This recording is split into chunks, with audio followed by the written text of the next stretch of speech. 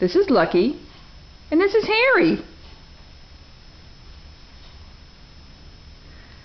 And you can see why um, Harry is called Harry. What's this? This is Luckie.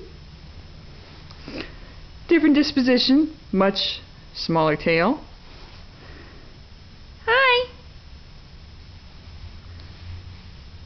She's a little scared of these balloons, though. Harry, what's this?